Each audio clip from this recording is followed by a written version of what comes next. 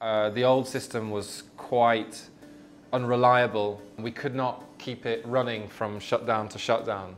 Well, we were having a lot of unexplained breaks at the winder, losing a lot of time due to clearing up breaks.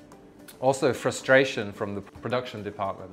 They were saying that they were running blind, you know what I mean? They, they couldn't see really what the problem was. So it's all very well having a system that works, but it has to work all of the time.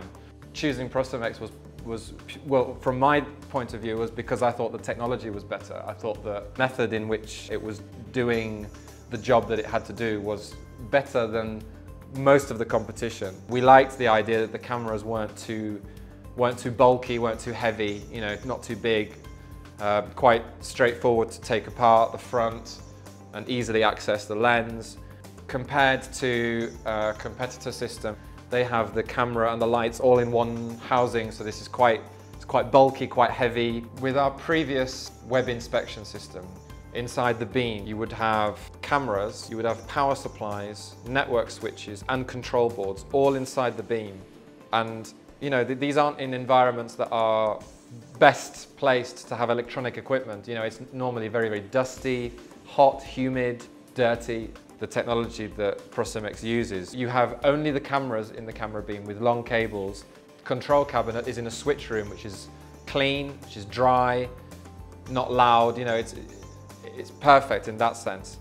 And from the web monitoring system point of view, previously we would have to have a server for every four cameras. So every camera was streaming a vast amount of data to the server.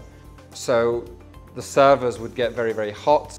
With this system, you know, we've got one server which does web inspection system, web monitoring system for the winder and for the paper machine, one server, and two separate computers, one for the wet end and the winder, and that's it. You know, there's very little to maintain, it's a lot more slimline, you know, the technology that Procemex uses where you've got the HD cameras snapping like a snapshot of the paper as it moves down, as opposed to a line scan camera that will continually take an image.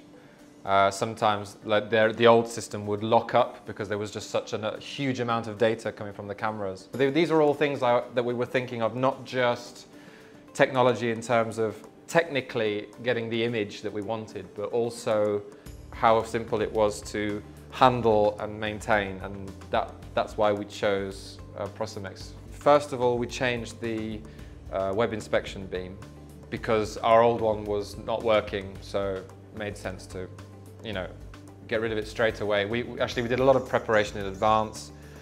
Installation was very quick. it's so lightweight, so there was three guys, you know, carrying it in, put it in place. Uh, the installation was maybe three hours, you know. I mean, I would say that the way that Procemex handles their projects is very very professional. I, I mean, we, we had basically very little issues. I kind of felt that I wasn't on my own. After that, uh, we basically, from the very first day, we were getting results. You know, we were seeing defects uh, from the system.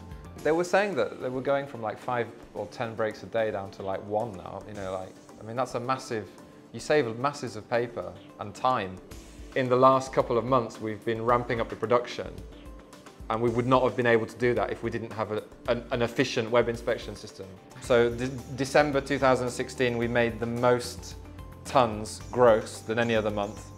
And just recently we've also beat our net tonnage daily production record. So that can only mean that efficiency is increased uh, less breaks for the winder. It kind of you know mathematically it, it makes sense that it must be coming from you know less breaks I would recommend Procemex, yes.